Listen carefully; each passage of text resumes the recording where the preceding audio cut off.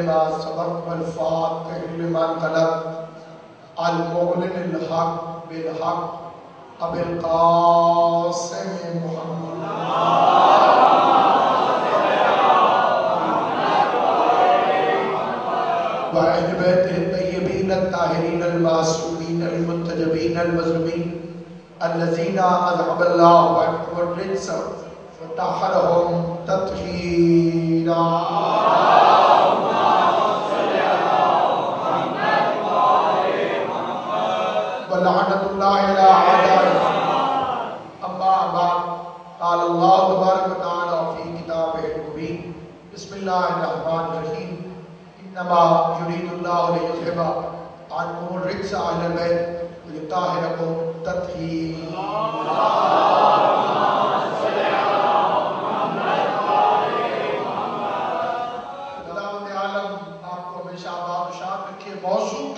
एतबार से सबसे अहम तरीन मौजू जो इस्लाम का है, वो है जनाब सैद अल्लाह ने यह हिदायत निज़ाम नाजिल फरमाया उसमें अंबिया आए हो या आए अगर जात जहरा न होती तो न कार नबूवत मुकम्मल होता, न मिशन इमामत कामयाब। उन दोनों ओहदों के लिए जिसकी चार घंटे की तकरीर ज़िंदगी भर गई और जिसने बादल के चेहरे से नकाब को नोच के रख दिया जिसके एक खुतबे ने खिलाफत के झूठ के धर्म को खोल के रख दिया।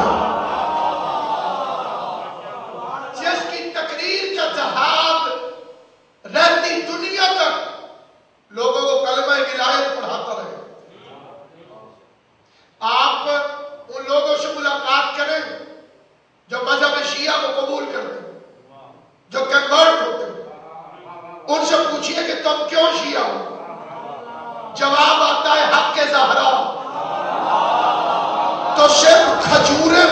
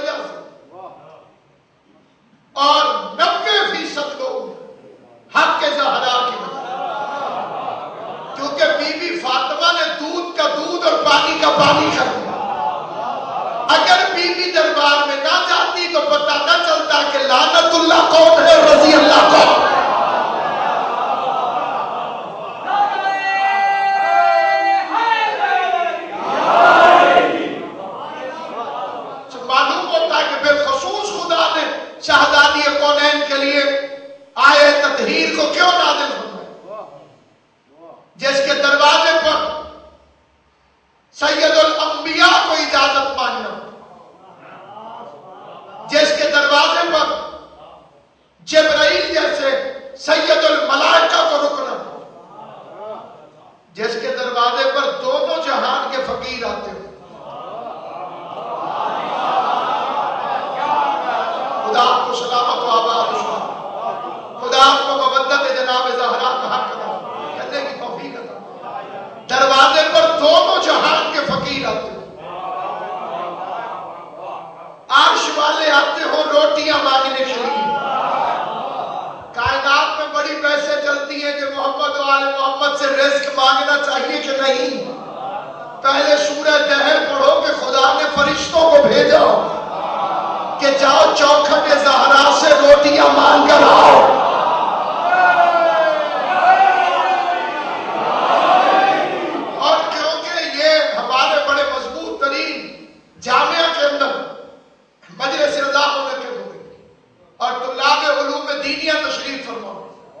सूरह मुबारक के अजारियात के अंदर। खुदाबंद करीम ने इशाद फरमा हल अदा मेरे हबीब, क्या आप तक इब्राहिम के इज्जतदार मेहमानों की कहानी पहुँची?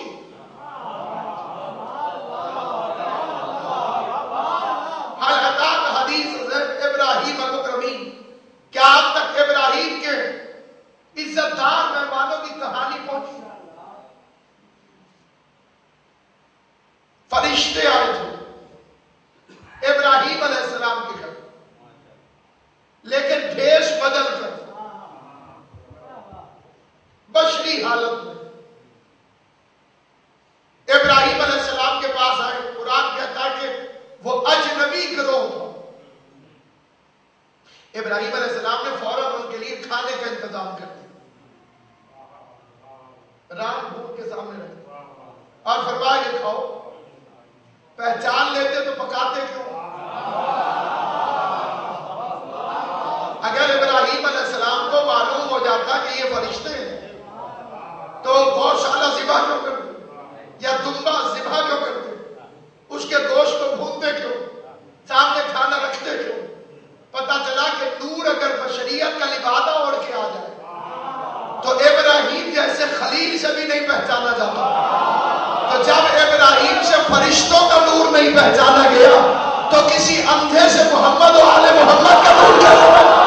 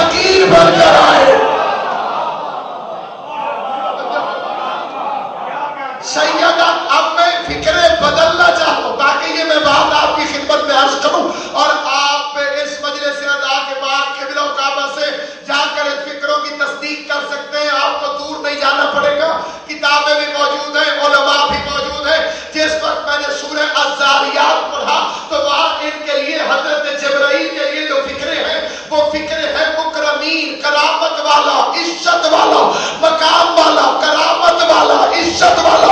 सूरह अजारियात कुरान मजीद मौजूद है। मेहमान बनकर आया, इब्राहिम के घर आया और अपने आप को खुदा ने उसके लिए लफ्ज इस्तेमाल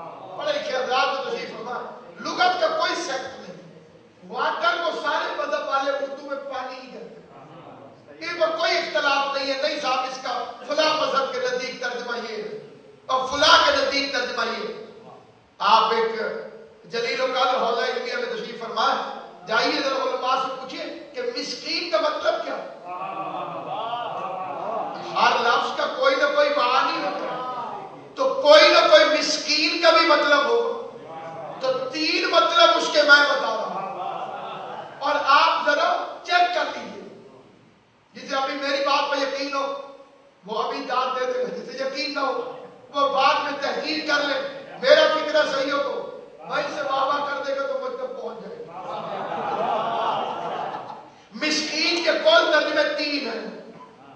मोहताज। लिख ले। फकीर। हकीर। मोहताज, हकीर। तीसरा तजमा है जलील।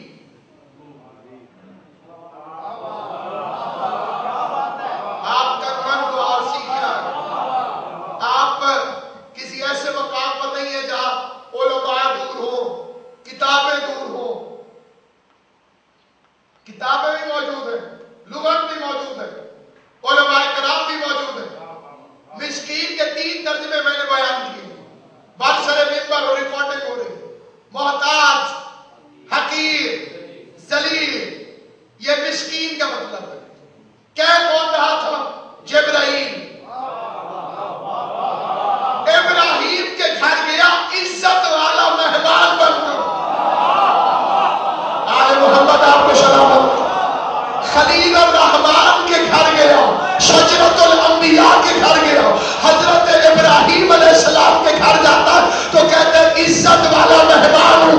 फातिमा की चौखट पे कहता मोहताज हूँ हकीर हूँ शलील हूँ।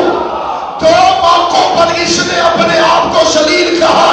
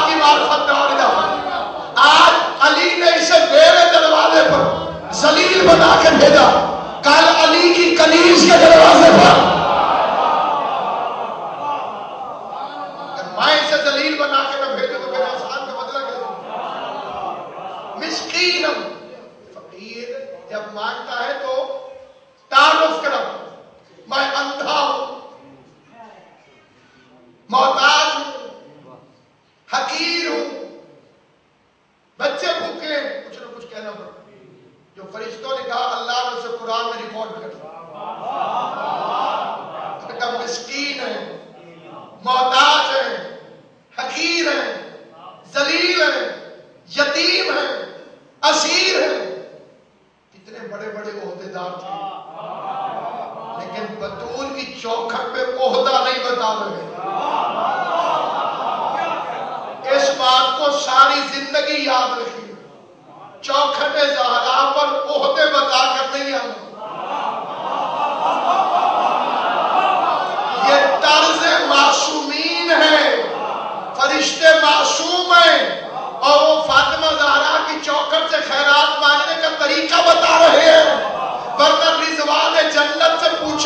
call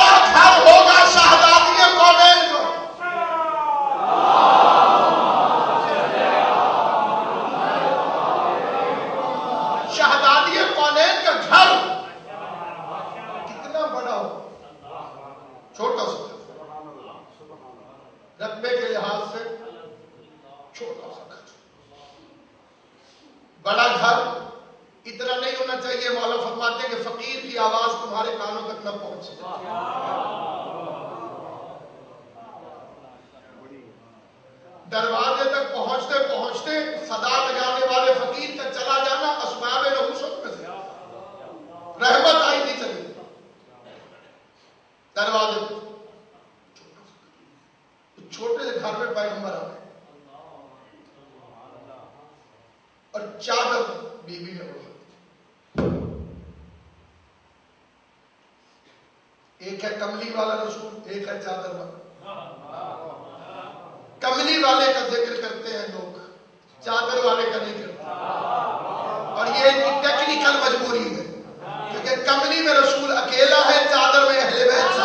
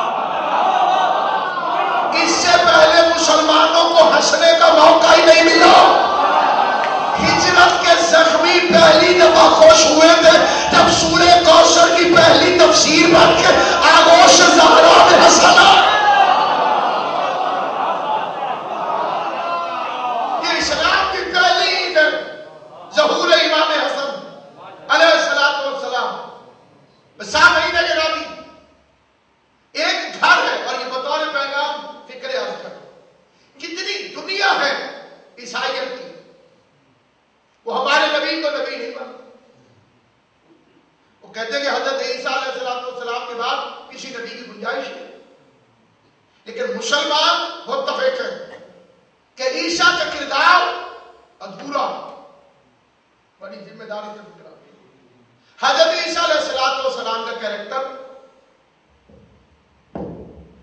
हर शोबे ज़िंदगी से ताल्लुक रखने वाले के लिए मुकम्मल जबता हयात नहीं दे सकते। ईसाइयत की होली फैमिली उसके मिंबर जी दो है। एक माँ, एक बेटा। ये टोटल फैमिली है। होली फैमिली और दोनों की शादी नहीं हुई। इसीलिए इसीलिए ये फिक्रा छोटे बच्चे का। इसीलिए ईसाइत में शादी को अच्छा नहीं समझा जाता उनके पादरी भी अक्सर शादियाँ नहीं करते उनकी नंदे भी शादियाँ नहीं करते अच्छा नहीं समझते मुझे इसलिए वो हुजूर पर इल्ज़ाम लगाते हैं कि इतनी ज़्यादा शादियाँ की और क्योंकि यजीद के बाप के ताल्लुकात बरह रास्त यहूदी और ईसाइयों से थे इसीलिए वो इमाम हसन पर इल्ज़ाम लगाता रहा कि नब्बे शादियाँ की हैं ये प्लानिंग भी ईसाइयों की तरफ़ से कैसर रूम की तरफ़ से उधर से आई थी क्योंकि सीरिया का रोम के साथ ताल्लुक था मुकम्मल और वहाँ से वो इल्ज़ाम उठा रहा क्योंकि उनके यहाँ शादी अच्छी चीज़ है ना जनाब मरियम की शादी हुई और ना जनाब ईसा मैंने पूछा तू हमारी बेटियों के लिए तो बड़ी ताकीद करता है कि शादी करने में जल्दी करो। हौसला में जल्दी करो। जिन चीज़ों को जल्दी करने का हुक्म है, उसके अंदर सबसे पहले नेकी नेकी को करने में जल्दी करो। जरा सा सोचोगे तो शैतान के हमले की में आते फकीर के लिए आपने सौ रुपया खैरात सोची, थोड़ी देर सोचे, पचास बदल जाए। आपका इरादा हो जाएगा कि इसे पचास देने चाहिए इसलिए इस्लाम कहता है कि इधर नेकी का इरादा पूरे फौरी तौर पर। उस पर अमल करो। नेकी करने में जल्दी करो। दूसरी चीज़, जिसे जल्दी करने का हुक्म है, शरीयत इस्लामिया में तदफीर जितना जल्दी हो सके, उतनी जल्दी तदफीन का एहतमाम इसी तरह जल्दी करने वाले कामों में बेटी की शादी। अब हमें हुक्म है कि बेटियों की शादी जल्दी करो। अपने घर में एक ही पली। जनाब मरियम। तो कुरान में मरियम के लिए खुदा ने कहा, उसे हमने पालो। और दूसरे का फरमाया, कब फल हा, जकरिया। हमने उसे जकरिया की गोद में पाला। मासूम पाले किसी को तो वो कहता है, हमने पाला।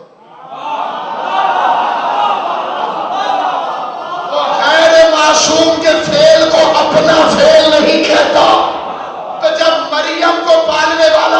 वाला मासूम है तो जो मोहम्मद को यतीमी में लोरियाँ देता रहा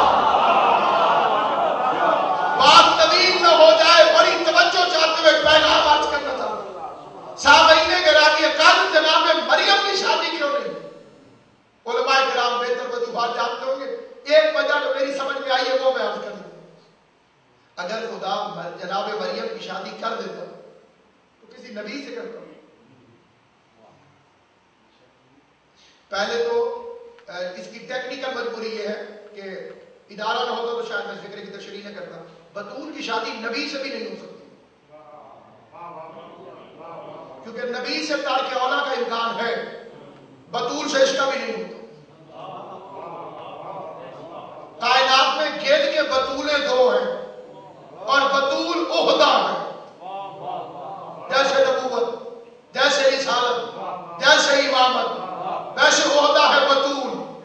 और इसका मादा है माता और निकला है, आप सूर्य मुदम्मिल पढ़ के देखिए। अपने रब के इश्म का ज़िक्र कर। वास्तव इश्म रब अपने रब के इश्म का ज़िक्र कर।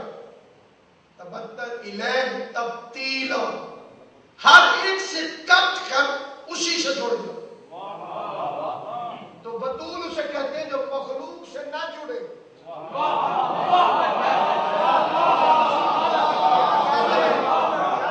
ये मैंने तर्जमा किया कुरान मजीद से जो मखलूक से कभी ना जुड़े और खालिक से कभी ना कटे